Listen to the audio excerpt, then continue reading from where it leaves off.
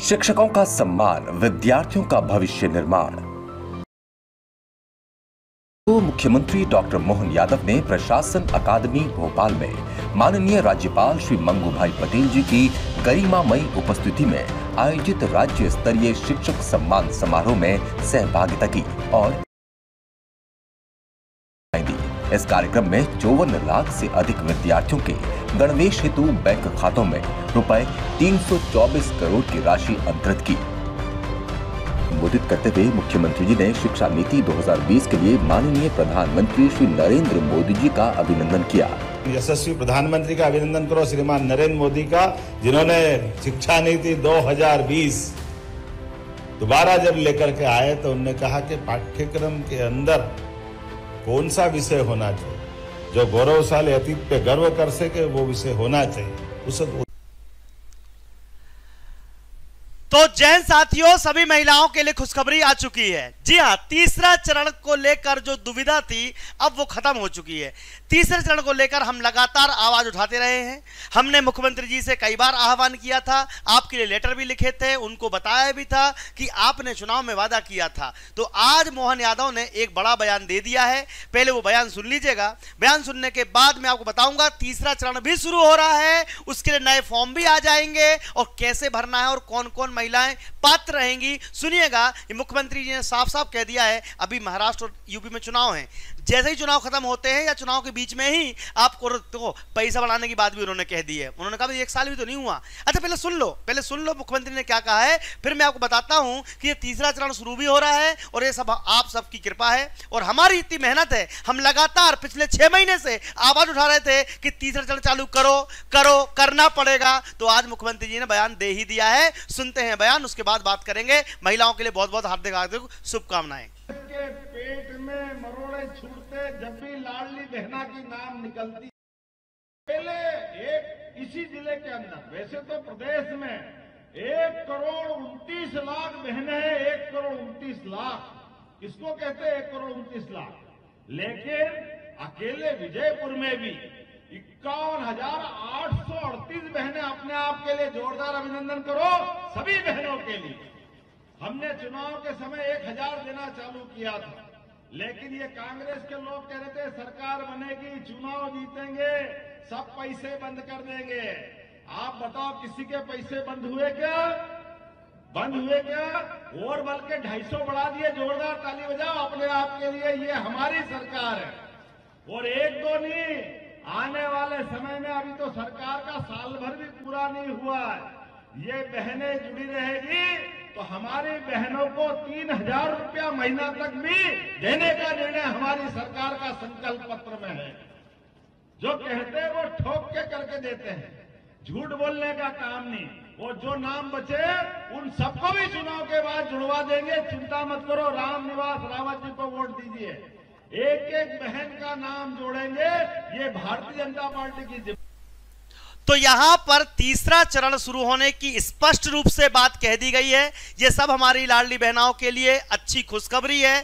साथ में उन्होंने कहा है कि आपके पैसे जो है वो धीरे धीरे बढ़कर आएँगे। अभी तो एक साल भी नहीं हुआ है। कृपया करके इस वीडियो को शेयर कर दीजिएगा और आज की न्यूज़ में आज हम शुरू करेंगे। तीन हज़ार रुपए तक की जो ज़रूरत पूरी करने वाले हैं, तीन हज़ार शुरू होगा। लाडली बहना को तीन रुपए दिलाने के लिए बुधनी में भाजपा लगा देखो यार अगर पैसा मिल रहे तो परेशानी, नहीं मिले तो परेशानी। जीतू पटवारी ने अभी कुछ दिन पहले ये बोल रहे थे कि लाडली बहना का पैसा मुख्यमंत्री जी लाएँगे कहाँ से? अब तो पैसे नहीं बचे हैं, कर्ज ले लिए सरकार। लेकिन यहाँ पर मोहन यादव ने साफ़ साफ़ कह दिया कि हम तो आपको चलाएँगे, योजना कभी बंद नहीं करेंगे और इसको लेकर झारखंड में बहर बेटियाँ सुरक्षित नहीं है क्योंकि वहाँ पर सरकार किसी और की थी। अब सरकार बीजेपी की आएगी, ऐसा बोल रहे हैं मामा। अट्ठाईस अधिक रोज़गार मिलेंगे। मोहन यादव ने फिर एक बयान दिया है और साथ ही साथ अच्छी नौकरी की तैयारी करने के लिए दो हज़ार रुपए प्रतिमाह की राशि दी जाएगी। मामा ने पता क्या कहा? उन्होंने कहा कि जो बच्चे सरकारी नौकरी की तैयारी कर रहे हैं, जो लोग पढ़ाई कर रहे हैं, उनके लिए भी एक नई योजना, लाडला भांजा योजना लेकर आने वाले हैं। और लाडला भांजा योजना के तहत जितने भी छात्र छात्राएँ हैं प्रति माह दो हज़ार रुपए उनको राशि दी जाएगी। इसके बारे में हम आपको बताएँगे। और साथ ही साथ, अगर आप लोग तैयारी कर रहे हैं तो डीएसए के माध्यम से भी आपको बहुत बड़ी खुशखबरी है।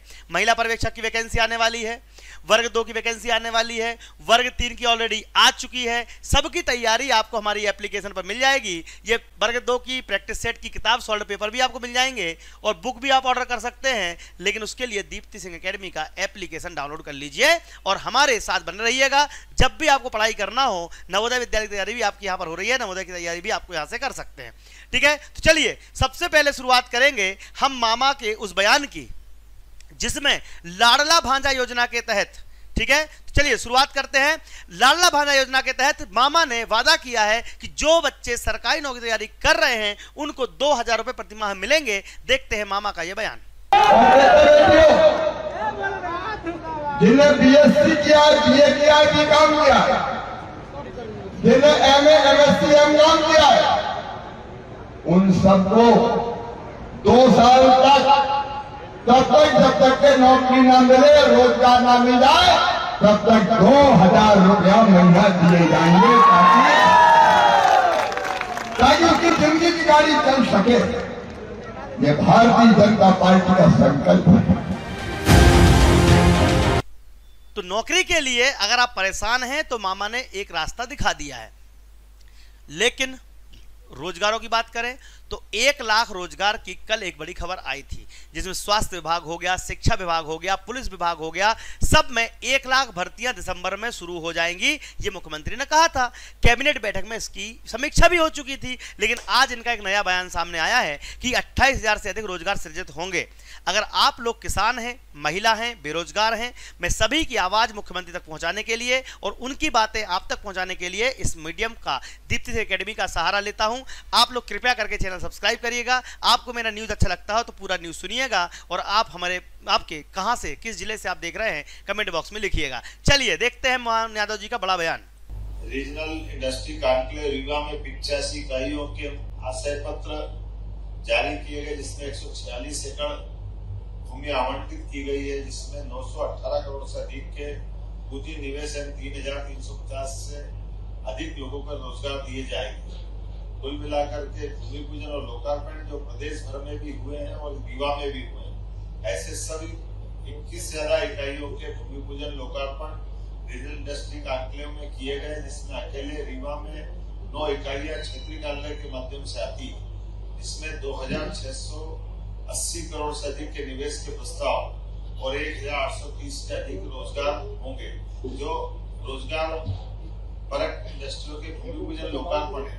लेकिन आज जो इंडस्ट्री कॉन्क्लेव की गई, इस इंडस्ट्री कॉन्क्लेव में जो प्रस्ताव आए, मुझे इस बात की प्रसन्नता है कि आमतौर पर इतने बड़े पैमाने पे प्रस्ताव आना, ये हमारी कॉन्क्लेव की सफलता बताएगी। लगभग इकतीस हज़ार करोड़ से ज़्यादा के निवेश के प्रस्ताव आज हमारे यहाँ इसी कॉन्क्लेव में आए तो रोज़गार के अवसर सरकारी ना सही, प्राइवेट तो देने का वादा कर रहे हैं, लेकिन हम मुख्यमंत्री जी से एक बार फिर कहना चाहेंगे कि अगर आप चाहते हैं कि मध्य प्रदेश की अर्थव्यवस्था सुधरे, अगर आप चाहते हैं कि मध्य प्रदेश को टॉप पर ले जाना है, अगर आप चाहते हैं कि मध्य प्रदेश का नाम पूरे विश्व में हो तो हमारे बेरोजगार भाई बहनों की तरफ़ देख लो, किसानों की तरफ़ देख लो।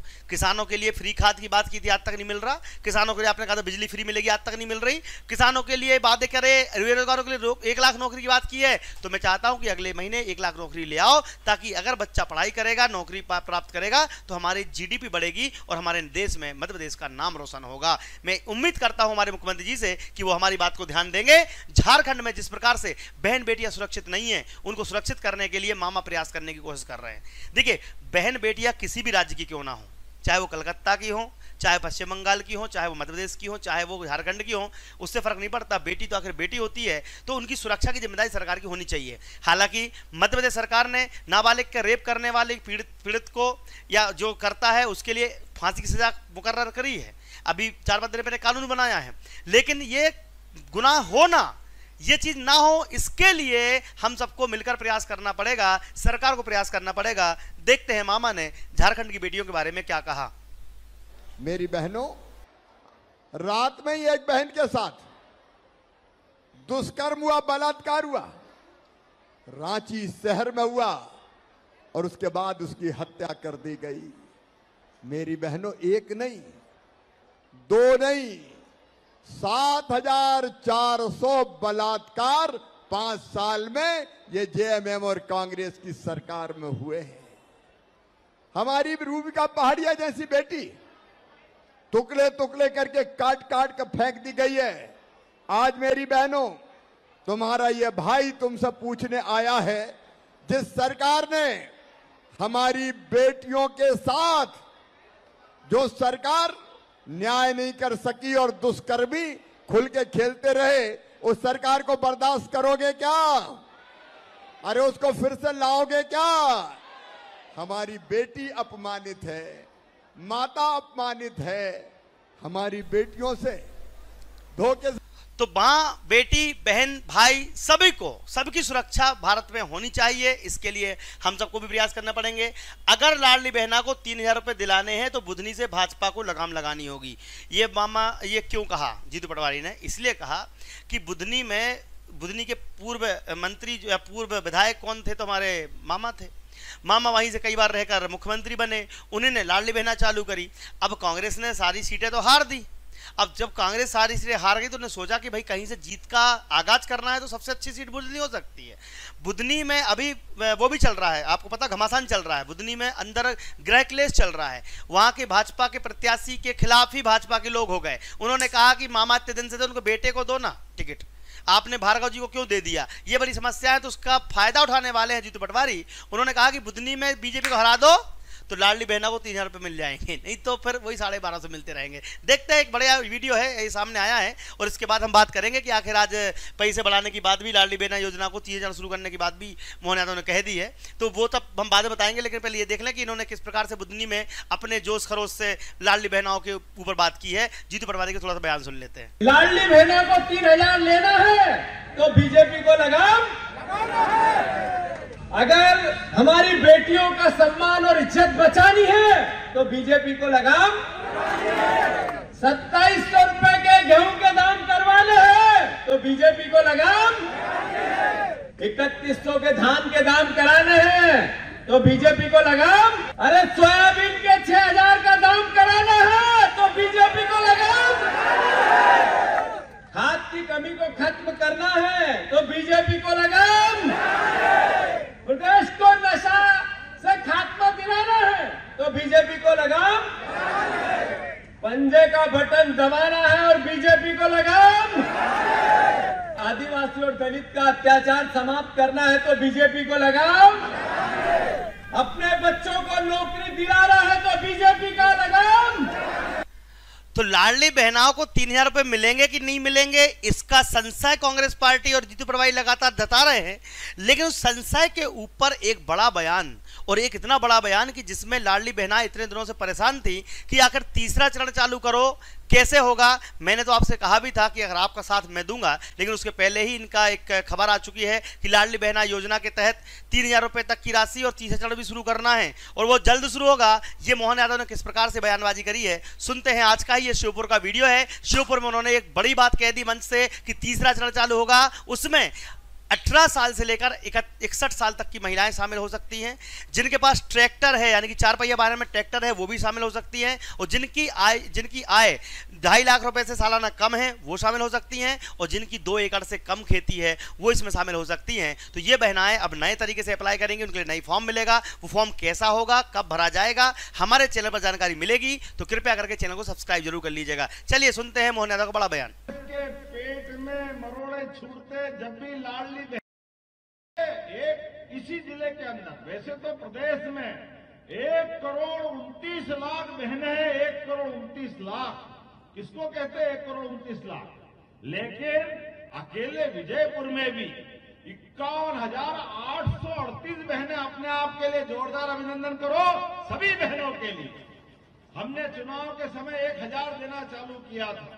लेकिन ये कांग्रेस के लोग कह रहे थे, सरकार बनेगी, चुनाव जीतेंगे, सब पैसे बंद कर देंगे।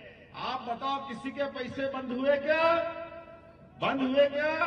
और बल्कि ढाई सौ बढ़ा दिए, जोरदार ताली बजाओ अपने आप के लिए, ये हमारी सरकार है।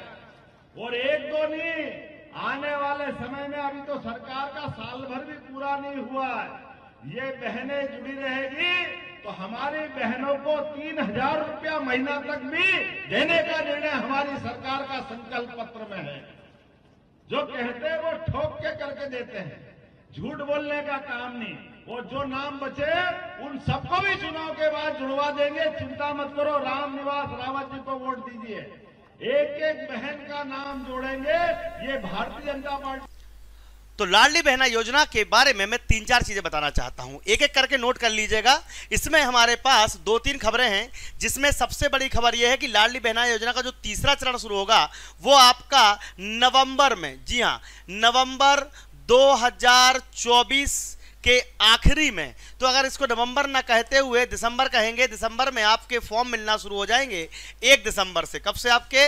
एक दिसंबर से। एक दिसंबर से आपके फॉर्म भरना शुरू होंगे।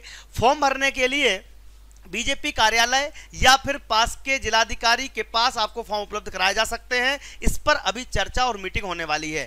आज मोहन यादव ने केवल एक बार ज़रूर कही है कि तीसरा चरण शुरू कर दूँगा मैं, क्योंकि इन्होंने वादा किया था चुनाव पे। तो हमने कम से कम 10 से 20 बार इनको याद दिलाया है।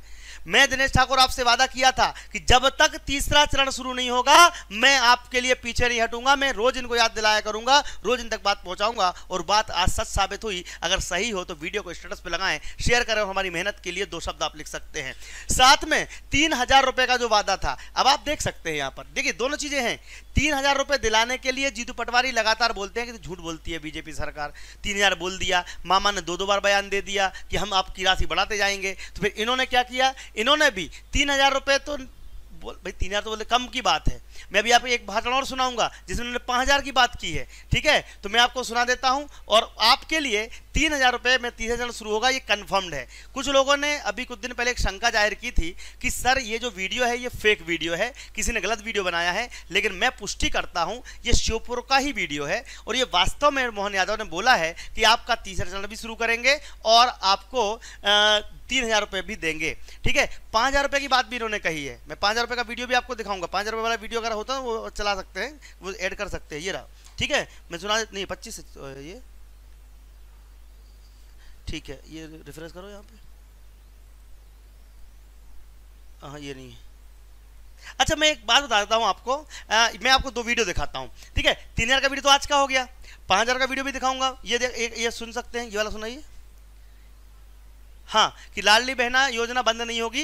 ये भी अभी दो दिन पर देखो ये वास्तव में ओरिजिनल वीडियो है तीन हज़ार रुपए का। मैं पहले एक पुराना वीडियो भी दिखाता हूँ कल परसों वाला दिखाता हूँ। ये दिखाइए वीडियो फिर पाँच हज़ार वाले बहनों को प्रणाम करके उनको बधाई देना चाहता हूँ। लेकिन ये केवल साढ़े बारह सौ में नहीं रुकेगी ये गाड़ी और बढ़ेगी। जो जो बहनें अपना कामकाज करते हुए अपनी पहचान बनाएगी इनकी बहनों के लिए हम योजना बना रहे हैं। आने वाले समय में इनको 2000, 3000 से लेके 5000 रुपया महीना भी देना पड़े तो हमारी सरकार देगी ताकि उनके जीवन में देखो इन्होंने तीन वादे किए मुख्यमंत्री ने तीन वादे किए। एक तो यह कि कोई भी योजना बंद नहीं होने दूँगा। आवाज़ आ रही मेरी? कोई भी योजना बंद नहीं होने दूँगा। ठीक है, ये भी कंफर्म किया कि आपके पैसे बढ़ाए जाएँगे। अब मैं आपको दो वीडियो कंपेयर करता हूँ। एक वीडियो आज का और एक वीडियो कल का। ये लगातार दो दिन के वीडियो है और पक्के वीडियो सबूत है हमारे पास कि भैया देखो, तीन हज़ार रुपए का तो आज मैंने अभी सुना है, फिर सुनाऊँगा। पाँच हज़ार देखो, कल को देखो, पाँच हज़ार वाला कल का देखो देखो मैं दिखाता हूँ। देखो वीडियो देखो। तो रोज़गार आधारित उद्योग की बात तो आई नहीं। रेडीमेड गारमेंट से लगा करके कई ऐसे रोज़गार परक उद्योग है, जिन रोज़गार परक उद्योगों के अंदर लेबर जैसे चार हज़ार लेबर के आधार पर प्रतिभा सिंटेक्स उज्जैन में इंडस्ट्री चला रहा है। या गोकुलदास, हमारा गोकुलदास वाले भी आए हैं यहाँ पे। आए ना गोकुलदास के कोई? अभी आपको तो भाषण का मौका ही नहीं मिला, इतना जोरदार ताली बजा इनको भी हमने बुलवाया था। आप कितने लोगों को रोज़गार दे रहे हैं गोकुलदास के माध्यम से? कहा पे? दो हज़ार। अब बताओ दो हज़ार लेबर इनके काम कर रहे हैं। प्रति लेबर पाँच हज़ार रुपया महीना सरकार आपको दे रही है और दस साल तक देगी। ये हमारी अपनी पॉलिसियों का लाभ है। हमारे लोग इंडस्ट्री चलाए, लेकिन इंडस्ट्री चल... आपको बिराजा, आपको बहुत आभार है। और खास बात आपने कहा, वो भी महिलाओं को है। अरे भाई, हमारे यहाँ यही तो बदलाव है। इसीलिए हमने कहा कि केवल लाडली बहनाओं के लिए हम साढ़े बारह सौ दे रहे हैं, ऐसा नहीं है। लाडली बहनाओं को आगे आकर के वो हमारी इंडस्ट्री में काम करे। तो इंडस्ट्री में पंद्रह हज़ार, दस हज़ार, पंद्रह हज़ार, बीस हज़ार, जैसे वो काम करेगी। उसमें प्रति बहन को पाँच हज़ार रुपए का हम उनको अपना एक तरह से प्रोत्साहन देंगे, ताकि वो काम करें। हमारा प्रयास है कि मेहनत के आधार पर। चलिए तो यहाँ पर आपको दिखाई दिया गया होगा कि तीन हज़ार रुपए की बात तो इन्होंने सॉरी पाँच हज़ार रुपए की बात की है, पक्का की है, और आज का वीडियो देख लो, शिवपुर का वीडियो है, तीन हज़ार का वीडियो देख के हम आपसे विदा लेंगे। और एक बात तो बता दूँ, ये वीडियो देखने से पहले, ये जो हमारी सफलता है, ये जो हमारी सफलता है, ये इसलिए है कि आप सबका प्यार भरपूर मिल रहा है। वर्ग एक, वर्ग दो, वर्ग तीन तैयारी करने वाले बच्चे, ये Deepti Singh academy application download कर लीजिए, वहाँ पर आपको ये किताबें आप ऑर्डर कर सकते हैं सीटेट की बुक ऑर्डर कर सकते हैं, जो भी चाहें वो ऑर्डर कर सकते हैं, ठीक है? वर्ग तीन, वर्ग दो, मात्र परीक्षा, और साथ में आपकी महिला पर्यवेक्षक की वैकेंसी भी आने वाली है अगले महीने तो आप लोग हमारे साथ जुड़ जाइएगा। और ये वीडियो मैं आपको दिखाना चाहता हूँ, तीन हज़ार रुपये का पक्का सबूत है, ये उन्होंने कहा है कि पैसे बढ़ाएँगे और तीसरा चरण चालू करेंगे। और ये अगर हमारी मेहनत आपको अच्छी लगी हो तो छूटे लाभार्थी हमारे चैनल को सब्सक्राइब करके, लाइक करके शेयर कर दीजिएगा। किसी भी महिला का, किसी भी किसान का, किसी बेरोजगार का मुद्दा उठाने के लिए मैं कभी पीछे नहीं रहता। मैं हमेशा बेरोजगार के साथ खड़ा था, खड़ा हूँ, खड़ा रहूँगा, आपका सपोर्ट करता रहूँगा। इस चैनल के साथ हमेशा जुड़े रहिएगा। आपकी आवाज़ को सरकार तक पहुंचाना और सरकार को उनकी बातें मनवाना हम हम लोगों में कोई छुपाव भी नहीं है और कोई घबराहट भी नहीं है। जब मुख्यमंत्री नहीं थे, तब भी हम लोग कहते थे, आज मुख्यमंत्री हैं, तब भी कह रहे हैं, और आगे भी यही कहेंगे कि गर्व से कहो हम हिंदू हैं। हमें कोई संकोच नहीं है।